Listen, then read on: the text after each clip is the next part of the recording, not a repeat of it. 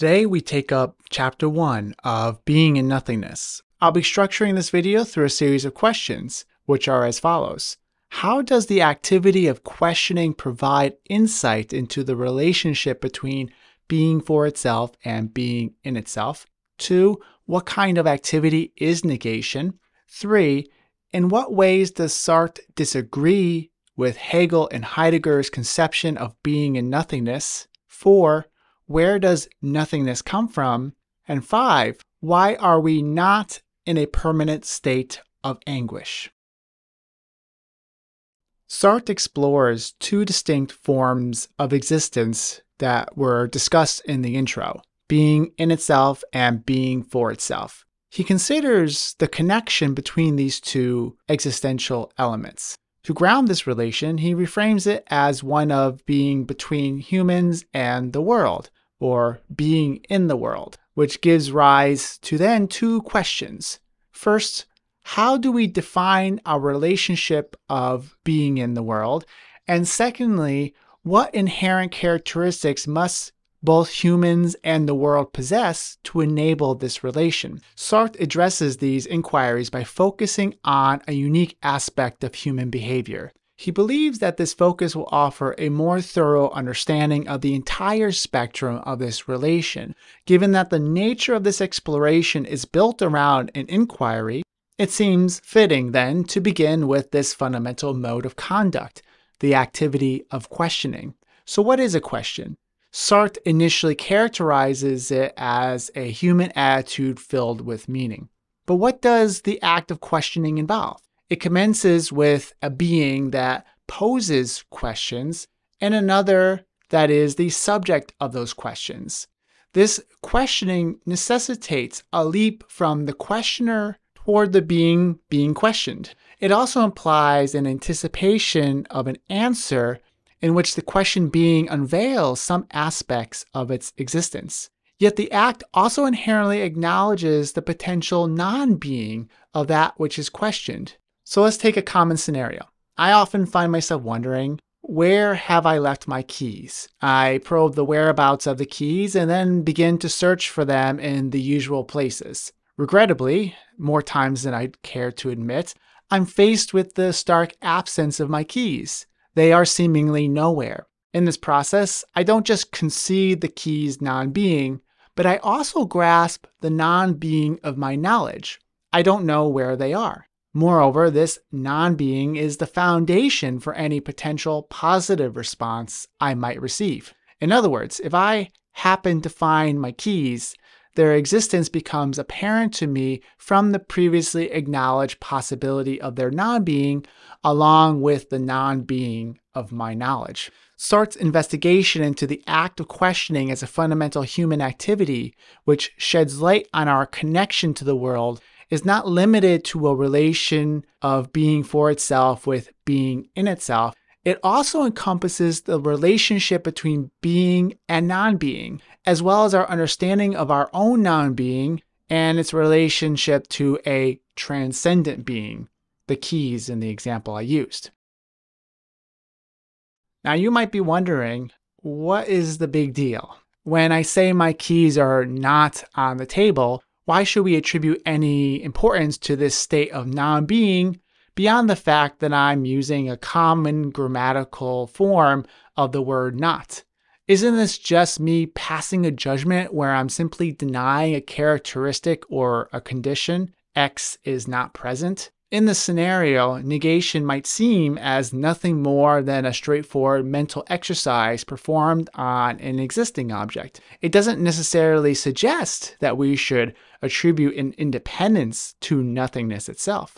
Sartre, however, sees things differently. He asserts that negation is not just a form of judgment, Rather, it's a prejudicative attitude that can occasionally be expressed as a judgment in response to a query.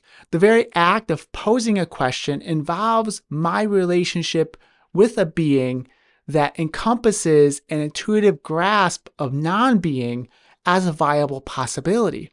Therefore, there exists a connection between being and non being within the overall relation between beings. Now, thankfully, Sartre offers an example of a non judicative act that illustrates our intuitive, immediate comprehension of non being, which he's suggesting we have, that being the concepts of destruction and fragility. Sartre maintains that destruction is purely a human feat. This may sound odd to us. After all, don't we talk about natural disasters? However, nature doesn't destroy, Sartre says. It merely modifies. The concept of destruction implies a value, and these values are derived from us. And so destruction signifies our relationship with other beings, a bond of transcendence. And it's within the confines of this relationship that we can perceive a being's susceptibility to destruction. Fragility is the apprehension of this possibility of destruction, a probability of non being for a particular being under specific circumstances. Faced with this possibility of non being of something, we shape our responses. We could act to confirm this fragility by bringing about actual destruction. Alternatively, we could uphold destruction as merely a possibility by implementing some kind of preventative measures from the being being destroyed. Hence, destruction assumes a prejudicative understanding of nothingness, which influences our actions toward it. Fragility and destruction aren't just subjective perceptions, they are objective realities imposed on us by the beings themselves. The vase doesn't become fragile because of my perception. Its fragility is intrinsic to my understanding of the vase as a vase. And as a result, I can't consider the vase without tacitly acknowledging the presence of nothingness. That's why Sartre proposes that non being possesses a trans phenomenality, just as being does, and which we've discussed in the introduction. Sartre shares another example to demonstrate the trans phenomenality of non being. In this scenario, I'm supposed to meet Pierre at a cafe. Running 15 minutes late, I finally arrive only to find that he's not there. But how do I arrive at that conclusion? Sartre starts by explaining the nature of perception, and it's a manner of explaining things that is reminiscent of what we'll later see done by Maurice Merleau-Ponty. In perception, we always recognize a figure set against a backdrop. The identity of this figure and its contrasting backgrounds depends on where my attention is directed. When I'm looking for Pierre, the entire cafe scene turns into the backdrop. This necessitates the nullification or nihilation of all other figures in the scene, which get absorbed into the sheer neutrality of the background. It's this absence of the background that summons the emergence of a particular figure. However, in this case, what arises to the forefront is the absence of Pierre. And so here, my intuitive understanding of a double annihilation, the non being of the background and the non being of Pierre, forms the conditions necessary for me to conclude and make the judgment that Pierre is not here. Sartre sums up all of these insights by asserting that non being isn't just a matter of judgment. Rather, it's the judgment itself that's underpinned by non being. To express not relies on the perpetual presence of non being within us and around us, persisting always and everywhere, leading Sartre to assert nothingness haunts being.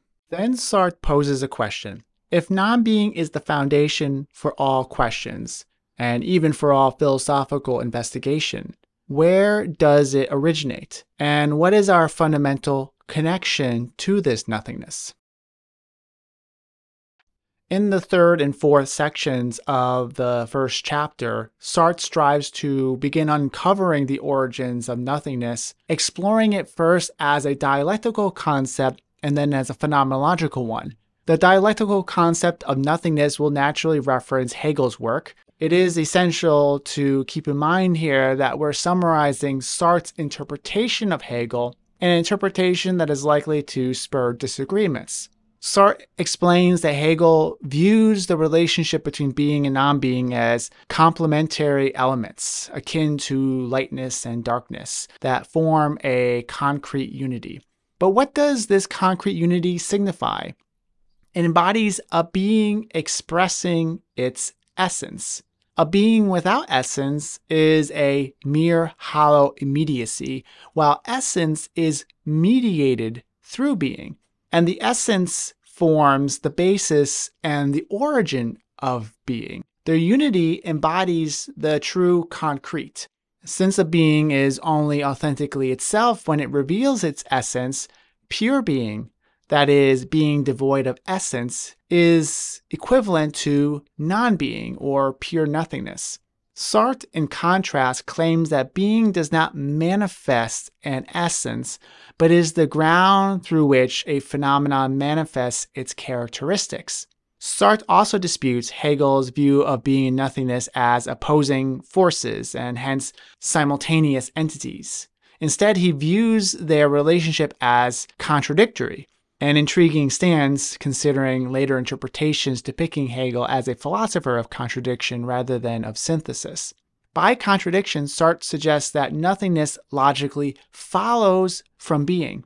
They do not exist on the same plane, nor does nothingness constitute an original chasm from which being arises, like the ex nihilo concept of Christian theology. Instead, nothingness presupposes being. Indeed, nothingness possesses a kind of parasitic quality, having a borrowed existence, since its efficacy is derived solely from being itself. As for the phenomenological concept of nothingness, Sartre turns to Heidegger, with whom he appears to have greater alignment. Sartre leans towards Heidegger's theory of nothingness over Hegel's, as he doesn't depict being and nothingness as hollow abstractions. In Heidegger's view, being has a tangible meaning and pre-ontological understanding that manifests in our everyday life. Nothingness, in turn, expresses itself through certain moods that hint at an unspoken understanding of it as well.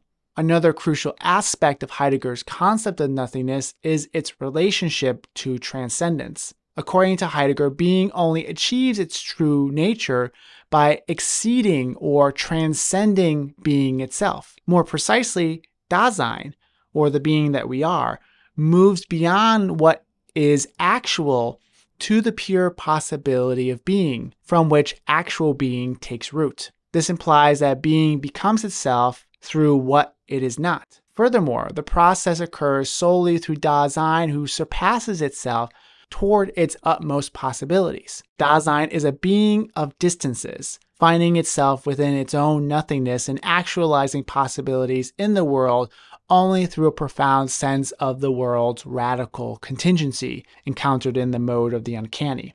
The mood of anguish, sometimes translated as anxiety or left untranslated as angst, represents the discovery of this double continual nihilation, the nothingness from which human reality arises and the nothingness within which the world is situated. Hence, nothingness engulfs being from every angle. Sartre then prompts us to ponder do these interpretations of being and nothingness by Heidegger suffice? Is it accurate to propose that being springs from nothingness, that nothingness cradles being within its depths, as opposed to being embracing nothingness within itself? Furthermore, is it right to position nothingness completely outside of the world as the foundation for being? Sartre detects some missed opportunities in Heidegger. When Heidegger portrays Dasein as perpetually outside of itself, as in the world, as a being of distances, as care, and so on, he overlooks that these all ultimately suggest that Dasein is not in itself. Moreover, Heidegger casts nothingness as the intentional correlate of transcendence, but fails to realize that he has already embedded nothingness into the very structure of transcendence. He fails to see how already being must inherently encompass non being for it to be at all. To elucidate this point, and since we've already talked about Dasein as a being of distances, Sartre addresses the notion of distance, initially in a literal sense as the measurable straight line established between two points. For the line to be itself, it doesn't need to transcend its own limits to exceed itself. Instead, its positive attribute of length is enabled by the negation of an absolute uniform proximity that's always intrinsically there. Therefore, as Sartre notes, negation is the cement which realizes this unity. It is an intrinsic reality and inner logic of length, even if it's concealed by reducing distance to the positivity of straightforward measurement. This example ushers us into the realm of a new classification of realities, which the English text leaves untranslated as negatite. The defining characteristic of those phenomena is that negation is intrinsically woven into their very being. It's not merely an additive element, but an integral part of their makeup. I've labeled them realities as opposed to beings because they do not align fully with the standard conception of being in its pure positivity. Instead, they are scattered within and propped up by being and serve as the foundational conditions that allow beings to be perceived and understood. To summarize a little bit of what we've done so far, at the beginning of chapter 1, we began with a question concerning the relation of our being with other beings. This led to an examination of the act of questioning as a type of human conduct that might shed light on this relation. Questioning requires there be some kind of negation, and the foundation of such negation is not some mental act of judgment, but in nothingness itself. Nothingness is not simultaneous with being, nor is it outside or prior to being. Instead, to quote Sartre, nothingness lies coiled in the heart of being, like a worm. And it's from this nothingness that our recognition of negatite arises. Despite these developments, the original question regarding the source of nothingness remains unanswered. In our explorations of questioning, the concepts of destruction and fragility and the absence of Pierre in the cafe, we realize that this nothingness is not something that resides within being in itself. As previously stated, nature doesn't destroy, it's we humans who interact with being in itself in such a way that we can comprehend destruction this provides the critical clue for pinpointing the genesis of nothingness. Nothingness is exclusive to a being through whom nothingness can infiltrate other beings. Nothingness reaches those beings only through the being for whom the nothingness of its being is at stake. As Sartre writes, the being by which nothingness comes to the world must be its own nothingness. Thus, nothingness intrinsically belongs to human beings. To be human is to be the conduit through which nothingness permeates the world. Negatite then delineates the relationship between human reality and the world and establishes a crucial condition for things in that world to serve any function and to be apprehended. But this leads to a fresh question if nothingness inherently belongs to the human being, then what kind of being must we be for nothingness to permeate the world through us? Sartre's response is freedom, which he defines as the being of consciousness. And this consciousness exists both as a consciousness of freedom and a consciousness that stems from freedom. So we're both aware of ourselves as free, and our awareness itself is the expression of freedom. But more specifically, how do we experience the consciousness of freedom and how is it typically expressed? We perceive it as anguish, Sartre says, which is manifested through time, through temporality. Sartre offers several examples to illustrate this point. First, let's consider standing on a precipice. Faced with the daunting height, we might feel fear or anguish. But what distinguishes these two? When we fear heights, we see ourselves as fragile, destructible objects, not responsible for our own potential downfall. We fear that we could die. But how does then anguish differ from this? When confronted with a height, the anguish we feel isn't simply about the potential danger of a fatal fall, which would be fear, but instead the anguish arises from the possibility that we could voluntarily leap from the edge, the horrifying reality is that nothing compels us to ensure our own safety, nor prevents us from jumping off. To evade this anguish, we may convince ourselves that our actions are determined. We reassure ourselves that we never jump because our instinct for self preservation is too strong, that our values and past experiences have conditioned us to exclude such a horrifying possibility. In essence, we perceive ourselves through a lens of psychological determinism. Consequently, to dodge anguish then requires us to renounce our freedom. This example illustrates what Sartre calls an anguish in the future. There is a relation between my present being and my future being. Anguish enters in due to the nothingness that slips into the heart of this relation and wherein I discover a distance between who I am and who I will be. I am not the self I will be, and for at least three reasons. First, because time itself separates present and future, but also, second, I am not the foundation of what I will be. I cannot cause who I will be. And third, nothing actual in my present, internally or externally, strictly determines what I will be. And at the same time, and somewhat paradoxically, I am already what I will be as well, because my future self will be in the mode of not being its future self, just as I am in the mode of not being my future self. In other words, my present being identifies with my future being in their shared nothingness. Furthermore, anguish is my consciousness of being my own future in the mode of not being it the anguish I now encounter will only be dealt with or decided upon by this future self that I am not yet. Sartre says, the self which I am depends on the self which I am not yet, to the exact extent that the self which I am not yet does not depend on the self which I am. Another example illustrating the temporality of anguish is a gambler. Let's say I'm a gambler and I've decided not to gamble anymore, but only to see my resolution melt away. I experience anguish over the ineffectiveness of my past resolution. I continue to be this past self who made this resolution to the degree I identify with myself through the flow of time, yet this past self is a mere object for my consciousness and not something that I am strictly determined by.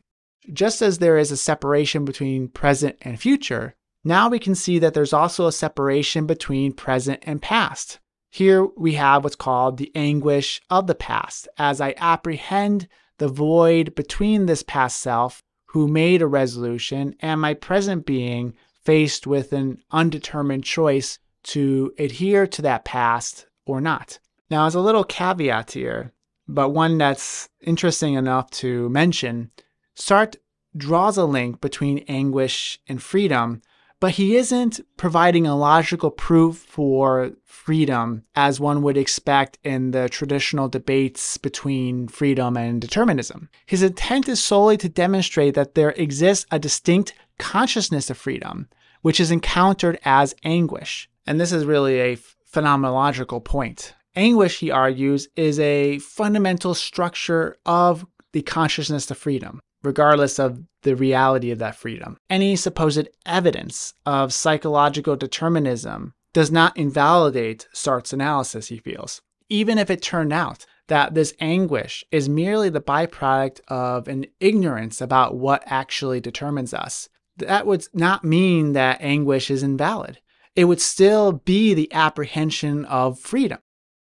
Nothingness is this consciousness of freedom, a consciousness that manifests as anguish and establishes a divide between the past and the present, and the present and the future, as well as between motivations and actions. Motives are never an intrinsic part of consciousness, but rather they exist for consciousness. This implies that consciousness is not constrained by them, but rather consciousness posits these motives and determines their significance and relevance. Consciousness itself is its acts, wherein we surpass ourselves in directing ourselves toward another being, a being in itself. Such acts always go beyond any kind of essence of the self as well.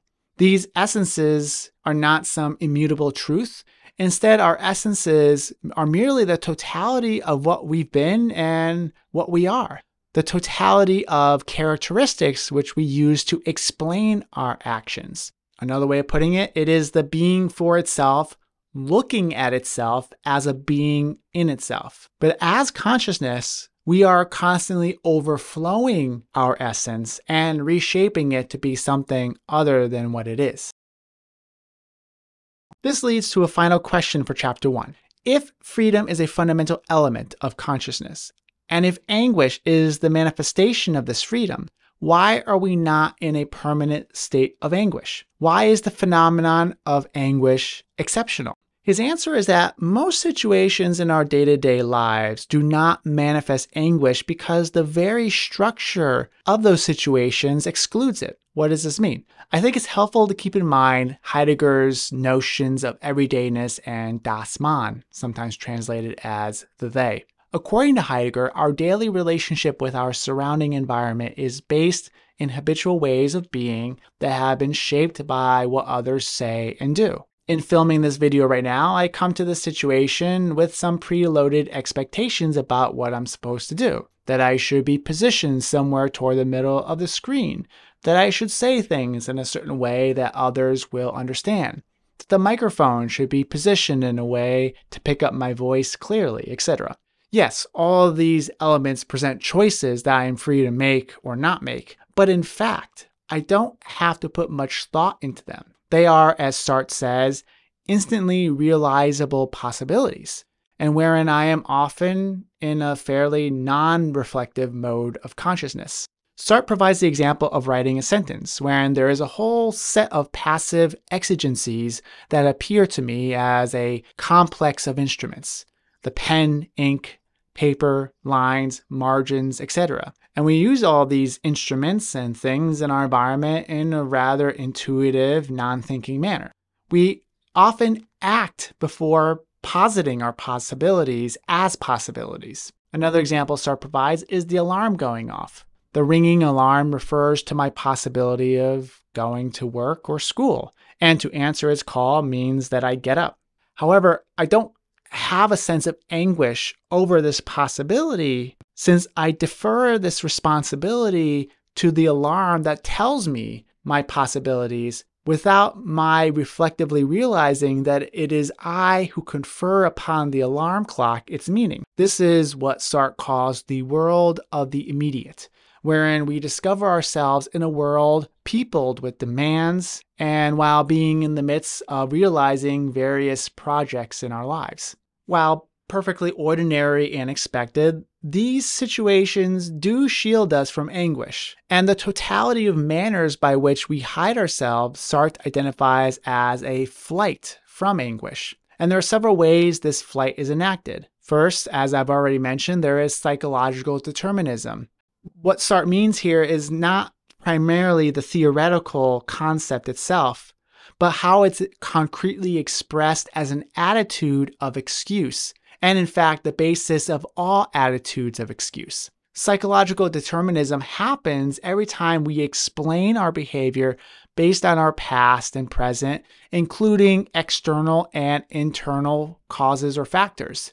It is the assigning of a foundation for our actions external to the acts themselves. Such an attitude denies transcendence and reduces us to never being anything but what we are. Second, there is distraction. Distraction entails a more reflective level of consciousness as I apprehend my possibilities as properly belonging to me, but these possibilities are embraced only insofar as I deny other possibilities that are hostile to those possibilities that I have embraced. Now, reading this, I thought about the messages delivered by certain self help gurus who motivate you to assume certain possibilities making money, achieving your dream life, getting your dream job or relationship. And a common component in these messages is that you have to also not allow doubt to creep in, that you must foreclose from your mind the possibility of not achieving those outcomes. As one famous self help guru said, you should turn your shoulds into musts. Otherwise, you should all over yourself. I'm also reminded of what Heidegger says about Dasein inauthentically relating to death. Rather than radically come to terms with death as my own most possibility, I only apprehend death as a logical possibility rather than an existential one. Thus, we say people die or one dies, rather than really confronting the fact that it is me who dies. This distracted flight from anguish, Sartre also calls the freedom of the other. It means that we're avoiding considering other possibilities by making them the possibilities of some undifferentiated other. In particular, we turn ourselves into another being, a being in itself, and confer it the freedom for those possibilities without truly claiming them as my own. As Sartre states, we apprehend our freedom in a self in the same way as a father recognizes himself and finds himself in his son who continues his work. In this way, we tone down all the original nihilation in other possibilities by describing them as if it were another person. And at the same time, we're always ready to take refuge in psychological determinism if this freedom we conferred upon the other begins to impinge upon us as anguish.